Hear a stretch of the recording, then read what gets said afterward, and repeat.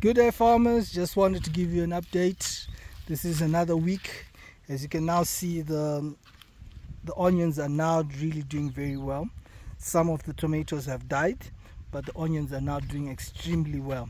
So what we have now done is that we have removed the um, weeds which were on the sides.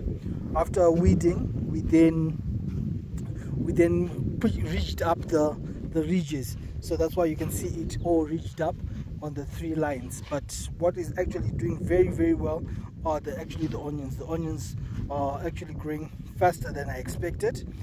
The tomatoes are a bit struggling. And now there's one line which is now just fully got only onions. And that's the third line no the fourth line but we just keep on monitoring them putting sure that they've got enough water making sure that we spray them just to get rid of all the bugs which are around. And we'll just keep on monitoring for the next month or so and then we'll just keep on giving you an update. But they are actually going according to as we planned. The drip is doing very well.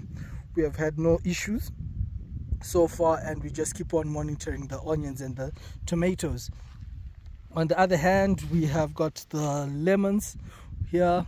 This one is doing well because it shows that it's getting a bit of water. The other ones are not doing too well.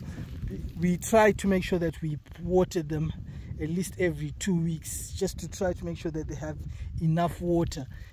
At the present moment our borehole is not doing too well for us to be able to make sure that we we, we give them the amount of water that they need on a daily basis.